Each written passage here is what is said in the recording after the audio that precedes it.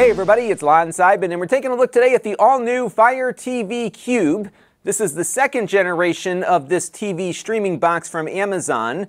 It now has a much faster processor. If you recall, last year's version had the same processor as their lower priced Fire TV. This one stands out a bit on performance, but I do think enthusiasts might be disappointed still. And what we're going to be doing in this review is looking at it from a consumer perspective, but also from an enthusiast perspective. And I'll give you some recommendations for both use cases. Now, I do want to let you know, in the interest of full disclosure, that I paid for this with my own funds. All the opinions you're about to hear are my own. Nobody is paying for this review, nor has anyone reviewed or approved what you're about to see before it was uploaded. So let's get into it now and see what this new cube is all about. So let's take a closer look now at the hardware. This sells for $120 at the time I'm recording this video, but as you know, Amazon often has sales on these things. Uh, it's shiny and will pick up fingerprints and dust pretty readily here as you can see, so you may have to dust it off every once in a while. Uh, on the back, it has the same unfortunate mix of ports that the last one did. I'm most disappointed with the USB port they chose for this because this is just one of your regular micro USB connectors. Uh, what you can do with this is use the included Ethernet adapter that comes in the box. And I use this in my home theater room to get the best performance for streaming. And if you have an Ethernet connection near your TV, I would suggest using this. However, this is only a 100 megabit connection, and that's important for enthusiasts to know because enthusiasts are often streaming video that goes beyond 100 megabits per second. And if you plan to do that with some 4K movie rips and whatnot, this will not support that given that it doesn't have the bandwidth. It does have wireless AC on board. You might be able to make it work there, but wireless is rarely a good solution for streaming that level of video. So that was a big disappointment here with this new product. It can support faster USB and doesn't. Uh, next to it is an infrared blaster, and that's also included in the box. And if you have older equipment that can't be controlled via HDMI, uh, or you have equipment that's outside the field of view for its internal IR blaster, you can set this up in an area where your equipment is and be able to control it that way. As you'll see in a few minutes, the Amazon uh, system here really does quite well at universal device control. It's probably the best thing out on the market for that, and it's really cool that you can execute multiple commands uh, just by asking the device to do stuff for you. It really works quite well. That's the real strength of this device, and again, we'll demo that in a minute. Uh, next to the infrared port, you've got an HDMI output. Uh, they do not have an HDMI cable in the box, despite the fact that you get all these other accessories in there. Uh, so you'll need to make sure that you have an HDMI cable, or you, of course, can buy one from Amazon at the time you're purchasing this device. And next to that is the power port. And here is the power adapter. Uh, the cable isn't all that long, but I think you could probably make it work in your particular environment there. It is a 15 watt adapter. On the top, you have some buttons, and this is mostly for the uh, Amazon Echo functionality that this device provides. Uh, because when it is plugged in, even when your TV is off, it will work like an Amazon Echo. So you can issue all the usual Amazon A-word commands to it to turn your lights on and off, for example. And then you can also control your television when you ask it to turn it on. And that seems to work pretty well. You've got your volume control for its internal speaker up top here, along with a mute button. Uh, note that it is always listening, uh, but you can disable the listening by hitting the button here, but this is not a physical cutoff, it's just an electronic mute. On the bottom, you've got that speaker, which again is pretty loud, and that is pretty much it. A pretty simple device that is much like last year's from a hardware perspective, uh, but it does have some more horsepower under the hood. Uh, the processor inside is an Amlogic S922. I believe it's the S922X because it is a hexacore and not an octa-core processor. It has only, though, 2 gigabytes of DDR4 RAM along with 16 gigabytes of storage. It supports all of the major HDR modes, including HDR10 and 10 Plus, along with Dolby Vision. We'll test that out in a minute as well. And all in from a media player perspective, it's fairly complete for streaming services. But again, there will be some issues enthusiasts will be running into. Let's boot it up now and see how it does streaming some of the basics. So here we are on the home screen of my new Fire TV Cube. And one thing that I noticed immediately was just how snappy everything pops up here. So we're going to load up the Netflix app here from scratch. Uh, you can see that it's got its little animation going and we are in. Uh, pretty quick response here. I am connected via Ethernet, but this is really uh, decent performance out of one of these Amazon boxes here. Uh, YouTube is now available on the Amazon platform. It was not before. Uh, but they've worked out an agreement with Google now so we can get all this stuff working with an official app. Uh, that, as you can see, is loading up very quickly here.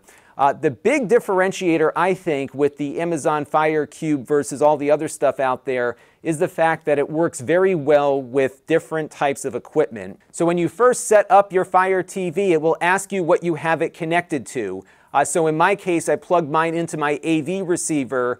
Uh, the receiver then is plugged into the television, and then I can switch between different things on my receiver to watch on the TV and have it come through my home theater system.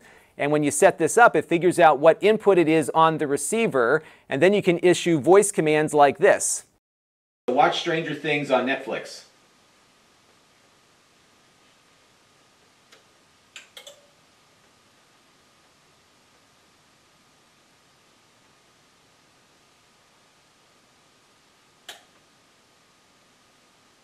And as you can see there, it turned on the receiver, it tuned it to the right input, it turned on the television, and then I could start watching the content that I wanted to watch. That was pretty cool. And you can set up additional devices here that can either work through the HDMI CEC controls or with the infrared blaster here. And let me show you where that's located. So if you go into settings and go over to equipment control, uh, you can add other devices by going to the manage equipment area there. Uh, so you can see right now I have a TV and a receiver configured, but I could add a cable box, a satellite box, a game console, a bunch of other stuff here, and I can have the A word uh, be the command to switch between them. So if I wanted to go over to my Xbox, I could just say, hey friend, uh, why don't you go ahead and load up my Xbox for me? It'll turn on the Xbox, turn on the TV, and you're good to go. If you're looking for that level of voice control, I think Amazon really does it the best right now, and this device might be a great way to initiate all of that. Now you have two options for voice control on this. The first is to use the remote control like you can do on the other Fire TV devices. And what you do is just hold down the microphone button here and say, show me the weather in New York City.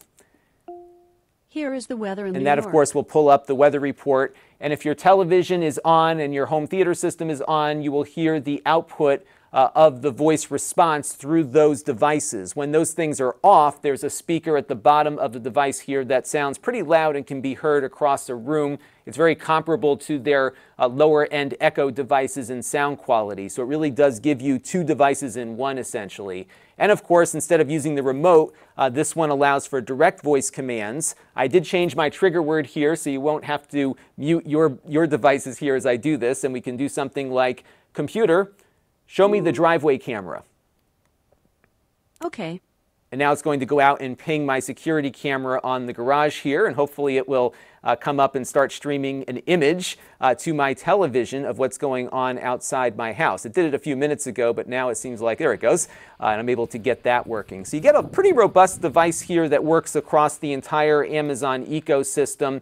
You can also do content searches, so I can say, show me Star Trek The Next Generation. And what it will do here is go out and search for participating media platforms as to where I can find that show.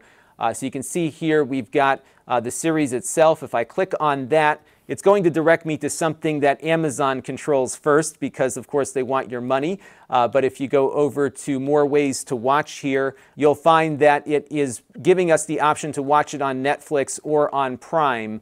Uh, but it's always going to default to something that can make Amazon money. And that's one of the issues you run into when you have a box manufactured by a company that also has a platform. They want to make money off the box, and therefore you'll be doing an additional bit of navigation to get to perhaps the app that you wish to watch it on. I was also a little disappointed given the price point of this device to see ads running uh, in my home screen here. You would think if you bought the premium device for what really is kind of a premium price these days for a TV box that you would not see the advertising, but it is here. So just be prepared. Uh, there's going to be a lot of stuff thrown at you to make Amazon more money. And again, that's the main driver behind these boxes. If you don't like this and you want something that's a little bit more agnostic to the different platforms, uh, Roku is a good solution given that uh, they tend to be a little more uh, universal in what they give you in a search or on your main screen here. So I think the key differentiating feature with the Amazon Cube here is the fact that you can sit down at your couch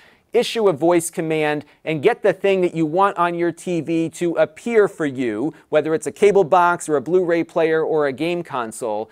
And if your kids have a whole bunch of crazy stuff hooked up to the TV and the TV is never working the way you want it to when you sit down, now you can issue one command, have everything turn on, and you don't have to futz around with the remote to do it. And I think that's a real key feature here that really separates this from its competitors. So now we're going to venture into enthusiast territory, beginning with its performance with 4K streaming services like Netflix and Amazon Prime.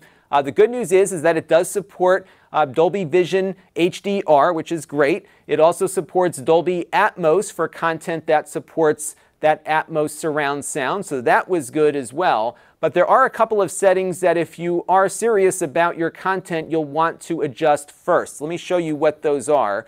Uh, we're going to jump into the Display and Sounds menu here. We're going to go to Display. Uh, the first thing I recommend you do is turn on Match Original Frame Rate. If the app you're using supports it, it'll turn your frame rate down to 24p for films that were shot at that resolution. There's a bunch of Amazon content that is, and it will make things look, uh, of course, much closer to how the directors of those pieces wanted them to look. So I would turn that on first. Uh, the second thing you need to do is go over to the dynamic range settings, and you need to set the HDR to adaptive. And the reason is, is that if you have it set to the default, which is always HDR, it will leave your TV in whatever the highest HDR mode was detected. So in the case of my TV upstairs, it locked it in at Dolby Vision, even for content that did not have Dolby Vision attached to it. Uh, so if you had something that was just in the regular HDR10, it would not switch to the other HDR mode. It left it in Dolby Vision. And of course, content that didn't use any HDR at all was also st staying stuck in Dolby Vision mode. So clicking it over here to adaptive uh, will allow the device to switch back and forth, and it was able to do so for me successfully with my LG OLED upstairs. And YouTube at 4K also works successfully. 4K 60 hertz content ran just fine on here like it did on the Fire Stick 4K as well. Uh, so all in a very good overall media experience out of this and the voice command is pretty cool. Uh, you can even do voice searches for YouTube content now too, which is a great thing to have on this device. But when you start going into some heavier duty stuff, it really begins to fall short. Uh, let's take a look at Plex, which has been an absolute nightmare so far for me on this platform. Uh, so we've got an episode of The Expanse here that I recorded off my cable system, 720p. This will play on even a low-end Android phone, uh, but nothing is happening here. Check this out. When you start it, all you get is that spinning wheel and it never plays anything. I've got my server up to date. I rebooted it. I rebooted this box a dozen and a half times. It's not playing anything. Uh, and also, its restricted Ethernet bandwidth at only 100 megabits means you won't get uh, the ability really to play those 4K Blu-ray movies over your network either. So if you were looking at this as hopefully maybe the first Fire TV box in years that really addresses the enthusiast audience, this is not going to be it for you. And it's unfortunate because uh, the processor inside likely could meet many of our needs, but for this kind of stuff, it's just not working. I also loaded up another popular home theater application. Uh, it reports to me that it's unable to stream lossless audio through this box as well. Uh, so again, it really strikes out on a lot of the things that I think enthusiasts need in a home theater box. So let's move on now to some performance benchmarks. We'll begin with the 3D Mark Ice Storm test.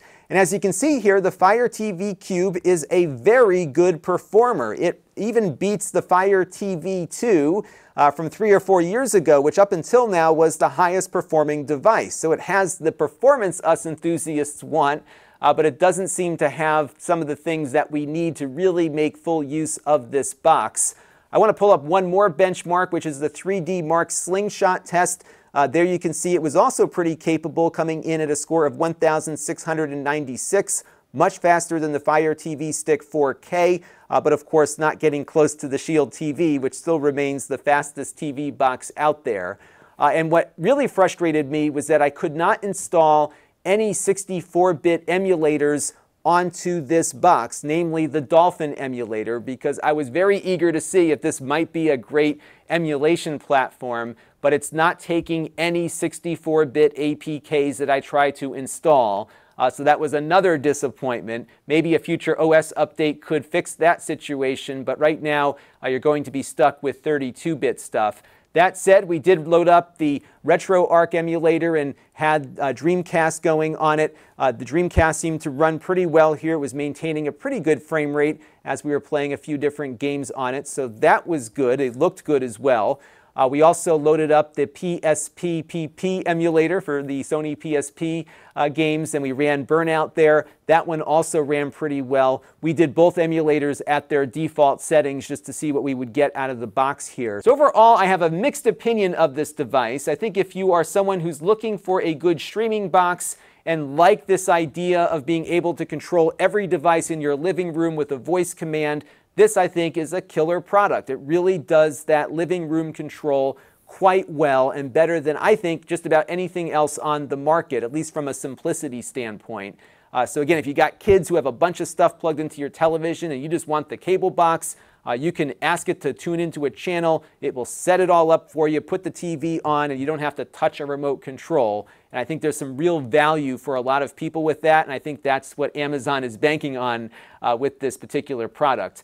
Uh, for us enthusiasts, though, this really falls short. Uh, the hardware could do better, and we're not getting all the potential out of it, unfortunately. I'm very disappointed with the Ethernet choice here. 100 megabit is not enough for us. I was also disappointed that I could not get my 64 bit apps to install on here either. And those apps really would have shown you some of the things that this hardware can do, but unfortunately, it is what it is. So, for the enthusiasts out there, this is not an NVIDIA Shield killer or even an alternative. Uh, but for general consumers who are looking for simplification in their home, I think this does have some value. And ultimately, Amazon knows their market, and there's a lot more people looking for that universal simplicity than there are looking for enthusiast horsepower. So we'll have to keep looking for our dream alternative to the Shield, but this one unfortunately is not it. But I can very safely recommend it to folks again looking for that universal device control and simplicity. Let me know what you thought down in the comments below. And until next time, this is Lon Seidman. Thanks for watching. This channel is brought to you by the Lon.TV supporters, including gold level supporters, the Four Guys with Quarters podcast, Chris Allegretta, Tom Albrecht, Mike Talbert, Brian Parker,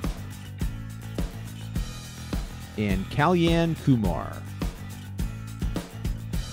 If you want to help the channel, you can by contributing as little as a dollar a month.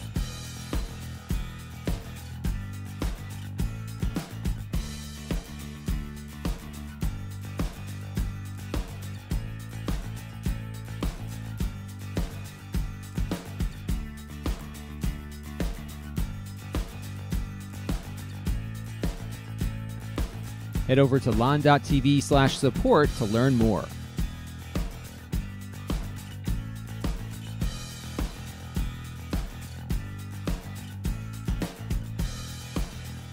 And don't forget to subscribe. Visit lon.tv slash s.